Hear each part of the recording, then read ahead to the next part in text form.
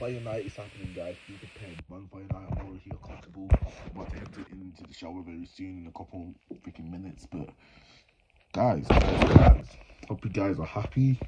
You know, and yeah, I'm just chilling, guys. Chilling.